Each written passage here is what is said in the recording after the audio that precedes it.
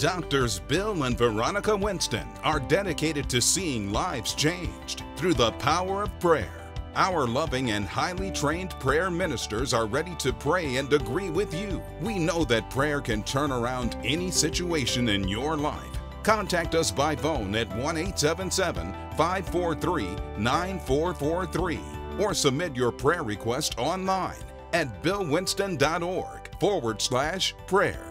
We want to thank our partners who have made this prayer call center possible. Together, we are transforming lives throughout the world. If you are not a partner, we encourage you to pray about joining us in partnership and be a part of the wonderful work that God is doing through this ministry. We love you and look forward to praying and partnering with you. The Believer's Walk of Faith is paid for by Bill Winston Ministries partners and viewers. You got to be free of fear fear of everything. Get rid of all fear. You should have no fear. You are connected to a God who has the unlimited power that if you can ever get rid of fear, then you have just connected with unlimited power. No fear. Fear tolerated is faith contaminated. And basically, you either in fear or faith. But if you won't fear, you won't fail. Say, I have no fear. I have great faith. Fear tolerated is faith contaminated. Contaminated faith doesn't have this kind of power. Well, I wonder why that didn't work, because your faith is contaminated. Say fearless. Fearless. Let's take Daniel chapter 6. What is happening? Daniel goes against the law of this Persian kingdom in this sector. And what did he do? They said, don't pray. I'm talking about the church now because they told you to take them Bibles out of the schools and you said, yes, sir, boss, and took them out and took them out.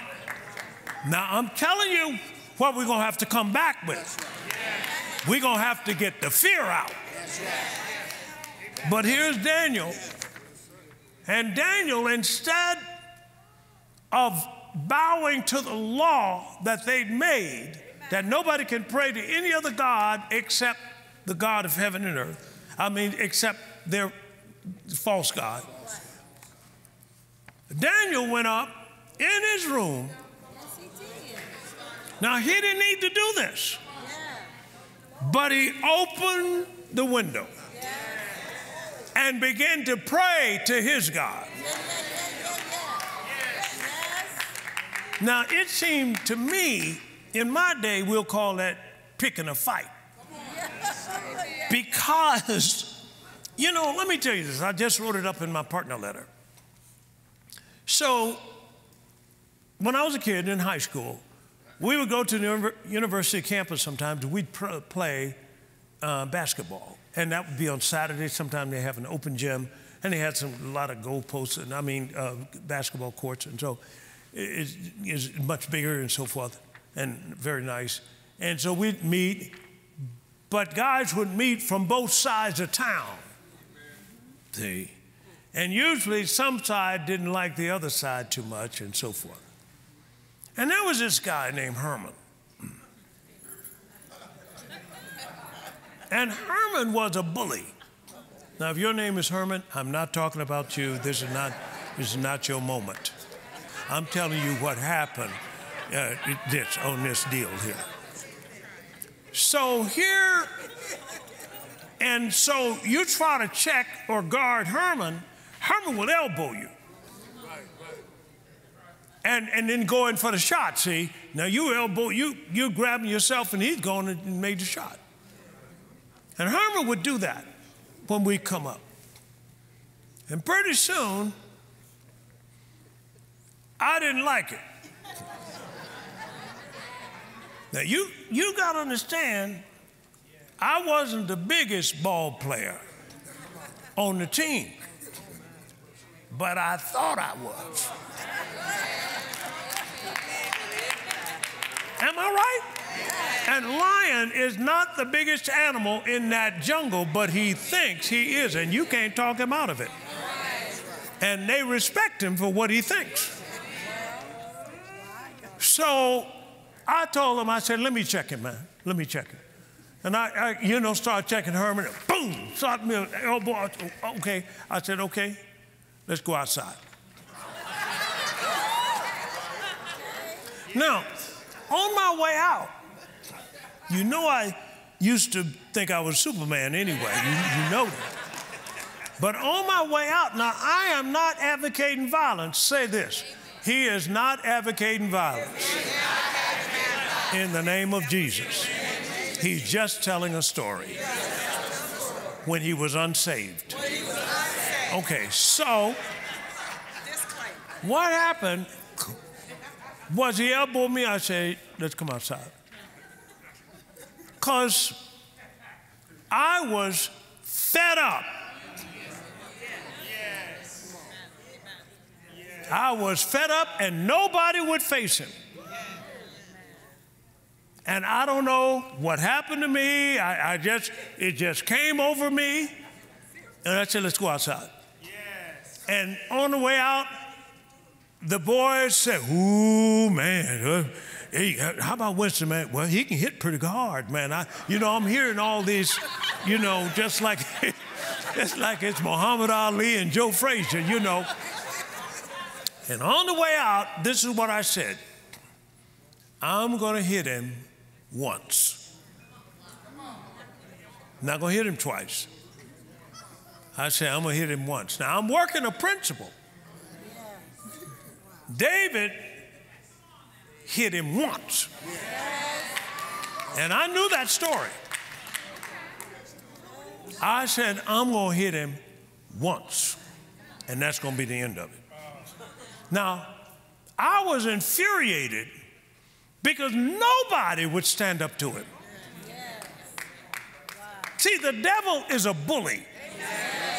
Really. That's why they, they, he tries to show you all the things on TV and try to uh, send a suggestion that you got that too. Can't you feel it in your side or so forth and so on? And, and I mean, it's one thing after another. So I said, Y'all want to hear the rest of this? And so what happened? so what did I do? I said, okay. I got out there, and the guys were all around, you know? And I said, okay, I'm going to hit him once. I don't know where that power came from. I, listen, I, it, I wrote it up in my partner letter for this month. I don't know where that power came from, but it came. It hit him so hard, blood popped out over his nose and so forth. Oh, hey, that's all right, that's all right, man, that's all right, you know. Faith and confession.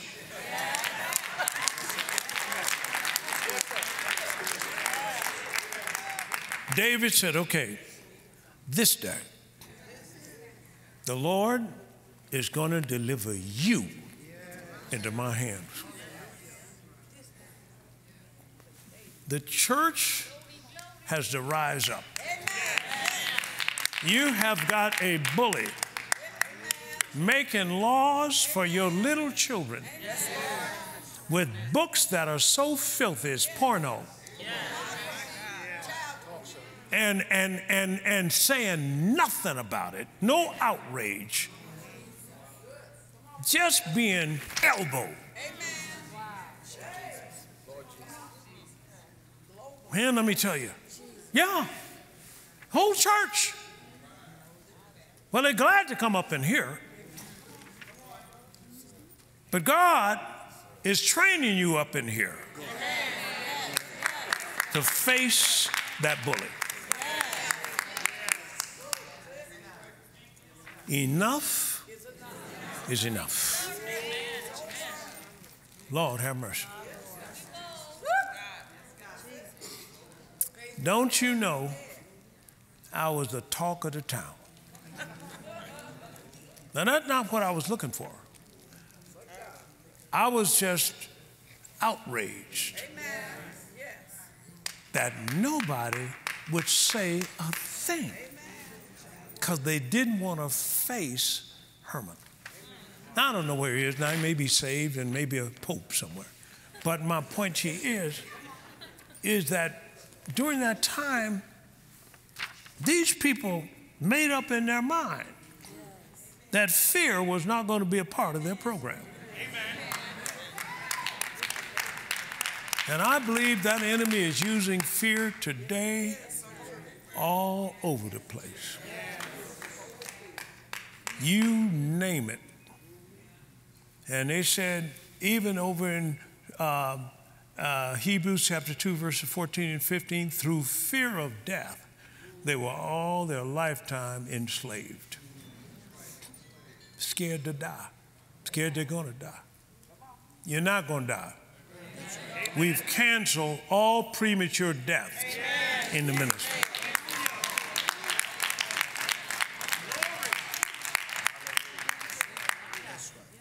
How about one man? Now this, this is, this is one woman changed all the laws. I'm talking about without fear now.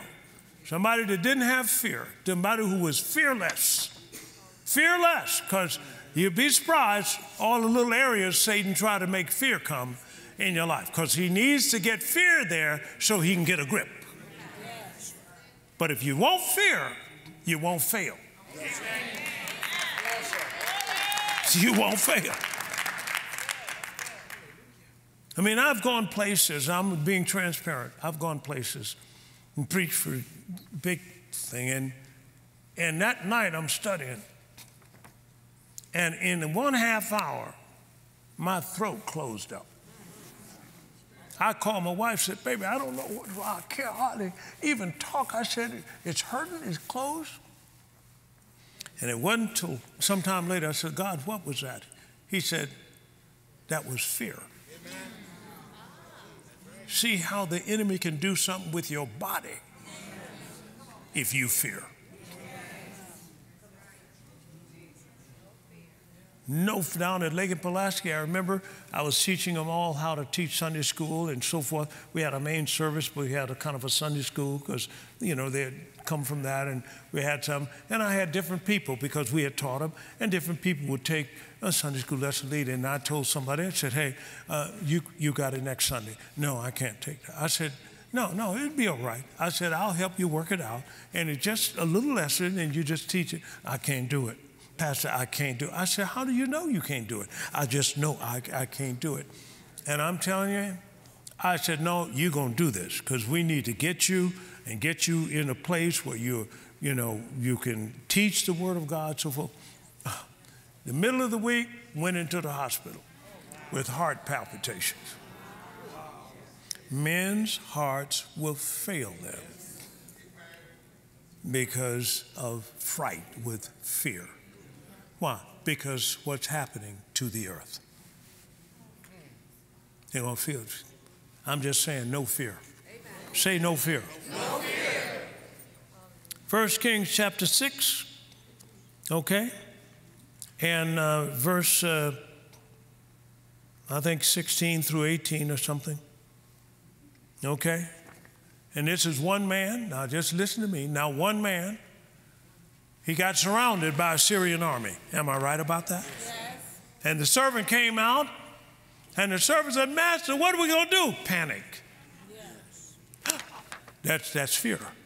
You got to watch that one. Did you hear that noise in the kitchen? Now, now see, you, you, follow what I'm saying? What, whatever it is, rebuke it in Jesus' name. Rebuke it. And so what happened next is the servant came out and saw him and panicked, said, Master, alas, but what are we going to do now? He said, Cool it, man. I'm going to use my word. Just cool up. He said, Fear not. There be more with us than be with them. Now, see what fear could do? It cut off your spiritual sight. You can't see your help. I got to stay out of fear. I said, I got to stay out of fear. Now, uh, there are some more in Mary. How about Mary? Mary had to not only carry that baby, but she, she received this thing. And uh, when the angel came to her and told her she was going to have a child and so forth, she said, he said, and, and the child shall be the Son of God. Mary said, Well, go be it unto me. Praise God. And watch this, was expecting, you know, and people knew she wasn't married yet. Now, I'm not saying do that. I'm just saying that's what happened to Mary, all right? My point to you, she had no fear of receiving because he said it's going to be the Son of God. Mary didn't know what she was receiving, what she had received was going to save her life.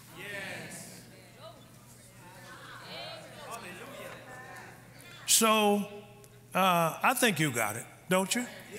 Now, now, now, notice whether it's a woman or whether it's a man, the same power can flow through. But fear is there to block that power. He says over in Matthew 24 and verse 7. Come on, read that with me. Let's start. For nation shall rise up against nation. Come on. Kingdom against kingdom. And what else?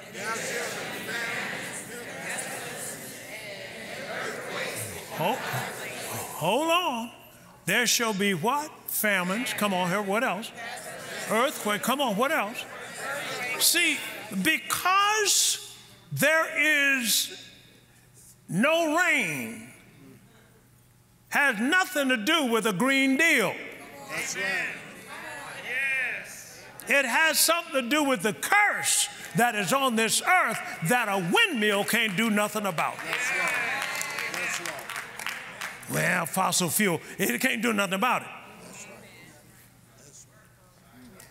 It can't do anything about it. You, you, you trying to cut back on this and so forth and so on. Oh, no, no, no, no. This is much bigger than that. This is the kind of thing that only the church can do something about. Because they got something called a blessing that can make any place on earth like the Garden of Eden in the last days, there's going to be famine. There's going to be no rain. There's going, but the church can be like Elijah. He said, it stops when I tell it to stop, and it'll start when I tell it to start, man. Boy, that's powerful stuff. One man can make it rain whenever he wants it to. Isn't that what the song said? I can make it rain whenever I want it to. All right, don't don't be singing. Stay, y'all stay saved.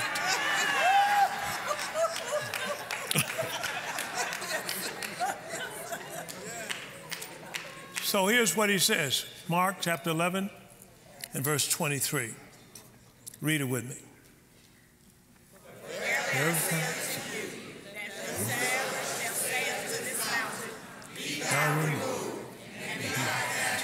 Sea, and shall not doubt but shall believe that those things that he said shall come to pass. He will have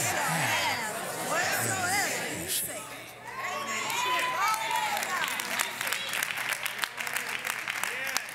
Faith is Satan's greatest nightmare. Don't ever forget that. He will do all kinds of things to keep you from developing your faith. He'll even give you stuff to keep you from developing your faith. He knows if you don't develop your faith, he can take it back. I told him Sunday, and I'll say it again because it was told to me. One of the worst places you can be in life as a believer is in a place where you don't have to use any faith. Keep faith working on something all the time.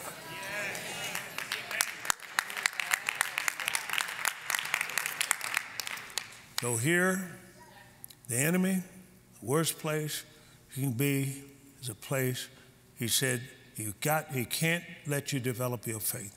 He's got to keep you from developing it. Stop reading the Word of God. Stop confessing the Word of God, so forth and so on. Now, in that, hold on, I got a couple of things here I just had on this sheet. Praise God. Are you getting something out of this here tonight? So I just want to make sure that I'm giving you what you need to fight with. And the biggest thing you need to fight with is knowledge. He said, My people are what? Destroyed for the lack of knowledge. Faith is a servant. Is a servant.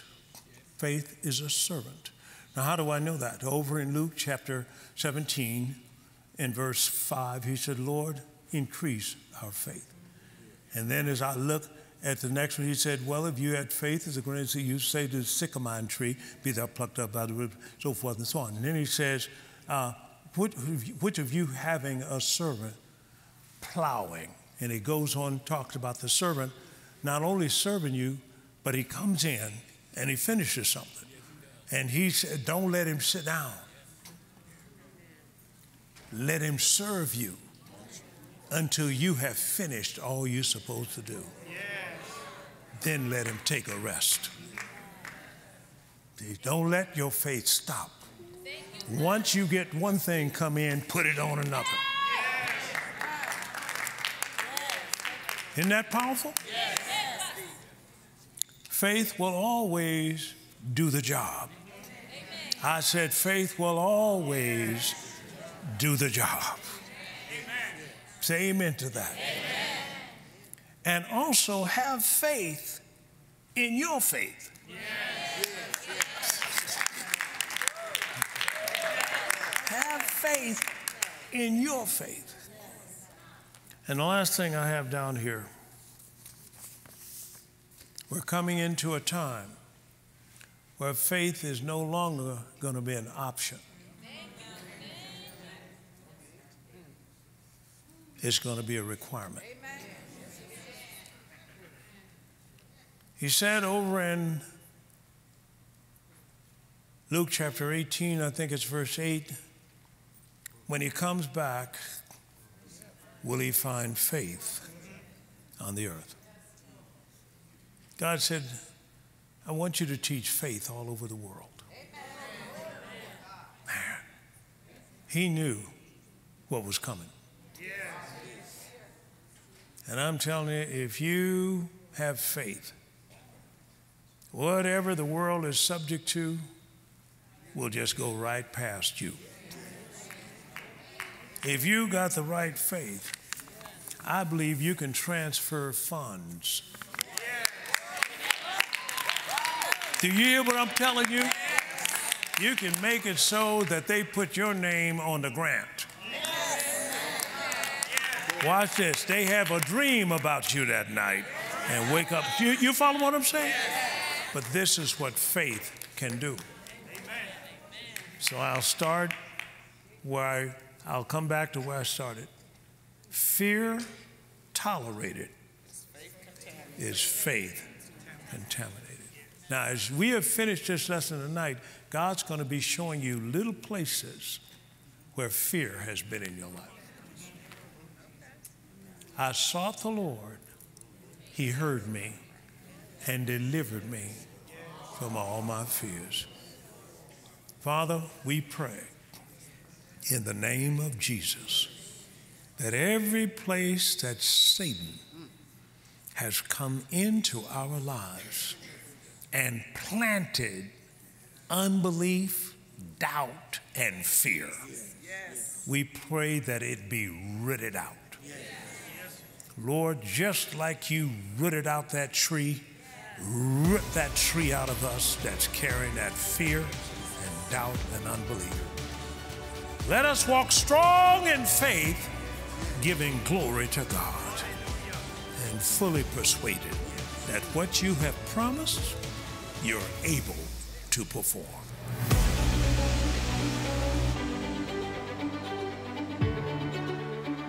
Well, I trust that you enjoyed that teaching. Now, that's called No Fear.